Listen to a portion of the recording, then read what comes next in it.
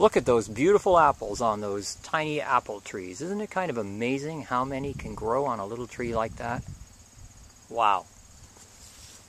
Hi there. I'm uh, Steve Smith from Smith's Apples and Farm Market in Port Elgin, Ontario, Canada, and we're standing in our apple orchard today in the middle of August. It's the 17th, and we're talking today about a brand new apple variety that I think is going to take uh, uh, get well, it's going to be pretty exciting for everybody. And I've got one in my hand here.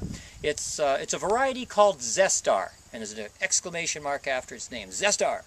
And it's developed by the University of Minnesota and uh, introduced in just the last few years.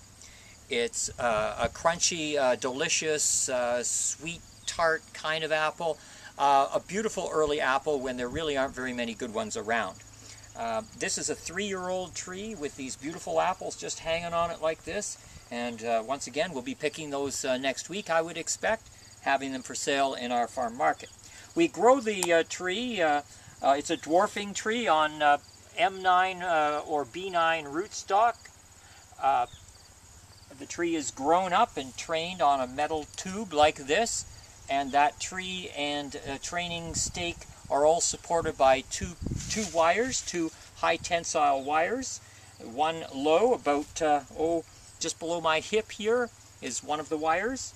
And then there's another wire up about as high as I can uh, reach, way up here. That's all that supports this whole wall. So you get this huge fruiting wall of apples. Uh, easy to work with. Uh, the trees love it. They get lots of light and air, and they're they're just grow wonderfully uh, this way. Uh, anyways, uh, I uh, I tell you, you gotta you gotta try one of these sometime soon. They're they're delicious. Oh man, it's that good.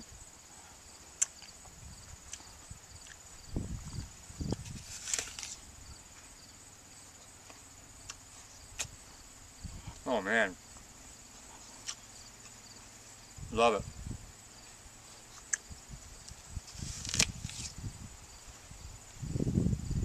You gotta get one of these.